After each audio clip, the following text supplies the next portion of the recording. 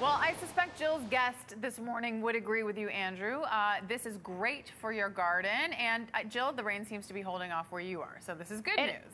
Yes, it is good news. But you know what? I want to thank Diane and Rick for having us into their home this morning. Diane came out and lent me a pair of wellies because it is a little soggy out here. But you know what? It's beautiful, and we couldn't be in a more beautiful location this morning, Tara.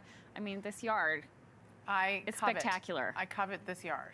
I know. And so we're all going to be inspired this morning towards your landscaping goals this summer. And Steve's going to help us along the way here from ULS. So good morning.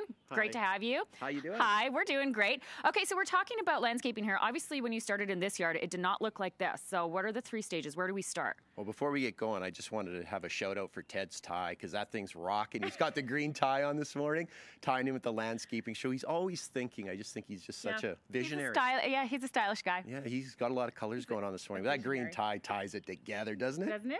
I will agree with you there. He is a visionary, our Ted, when it comes to fashion. Okay, you're a visionary when it comes to landscaping because this is something that you guys completed. Uh, how long was this in the making?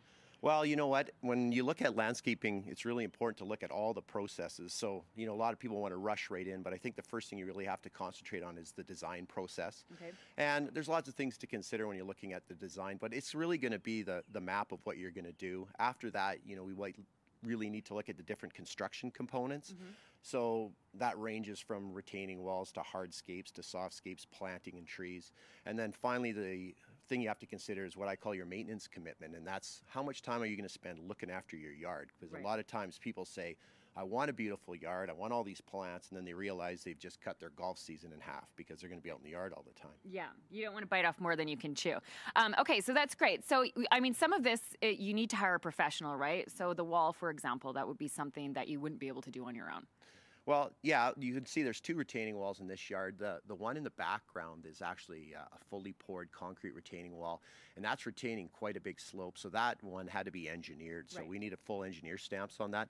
The the wall in the foreground, which is a modular retaining wall, that's a readily available product at uh, most uh, landscape suppliers here in Calgary, and that's a project that.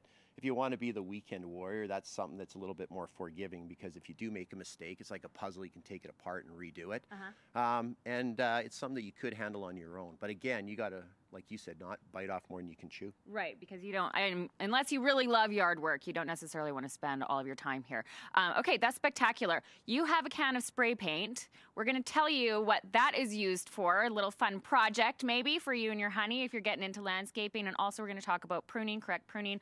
All of that has taken place here this morning. We're having a beautiful time here in the mist. Guys,